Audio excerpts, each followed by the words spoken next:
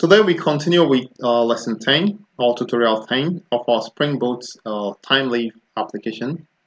Um, today we are going to be creating a business service. You already know how the architecture looks like. We have the database, we have the repository on top. On top of the repository we have the service. Business service is also called the service layer, is also called data access layer or data access object. Some, some call it in that way. But it's called, I call it business service. So to do that, I'm going to create a class in the services package. So just go click on new class.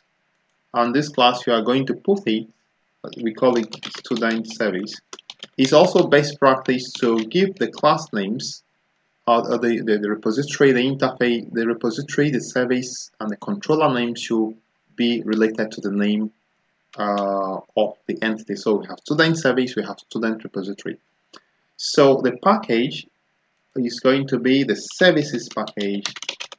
Some some use name like DAO as the name of the package, but I call it services. So we say finish, and this this uh, class or this student service, I'm going to annotate it with at service annotation. At service annotation. Alright, so the next thing we want to do, we want this service to be able to talk to the repository. So if this service wants to go through the repository to the, the database, it's going to get data from the repository and then provide that data upwards to the controller, controller then to the view, which is HTML. So again, if you want, uh, try to look at this architecture and understand uh, exactly what we are doing here. So let's continue. Um, we are talking about the service now. Annotate, annotate the class with at service annotation, which I've done. Auto wire the student repository into the student service. So for the student repository and the student service to communicate, for you to use the repository in the service, we need to create a private member variable in the student service class, and that variable will be of repository type. But we are going to auto wire it in there meaning that we are doing a dependency injection. So we are injecting it into this, the repository into the service as a dependency so that we don't have to be creating several instances every, every time. Try to read up uh, the concept of dependency injection if you've not if you don't know what it's all about.